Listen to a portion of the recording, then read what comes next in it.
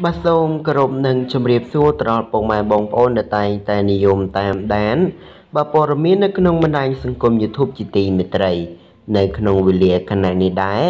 ខ្ញុំបាទលើកយកនៅអត្ថបទព្រមានថ្មីមួយទៀតហើយដែលមានចំណងជើងថានីមនីនៀតប្រាប់ថាឲ្យប្អូនប្អូនទៅមុនសិនចុះ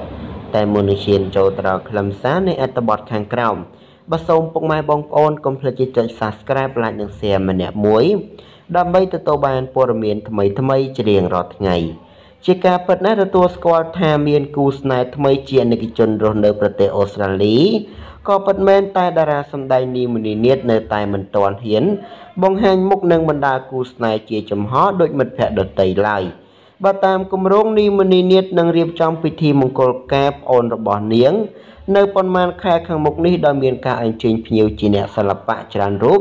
ចូលរួមផងដែរ ជាស្ដែងក៏មានការលេងសើចពីសំណាក់មិត្តភ័ក្តិថា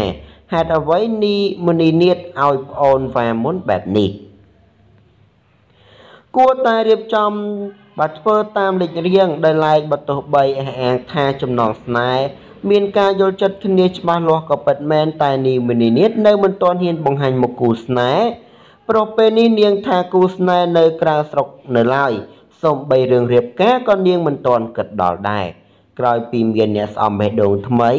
នីមួយនេះក៏កាន់តែបង្ហាញភាពស្រស់ស្រាយឡើងវិញហើយពេលនេះដែរនាងកំពុងមមាញនៅក្នុងការសម្ដែងរឿងជាបន្តបន្ទាប់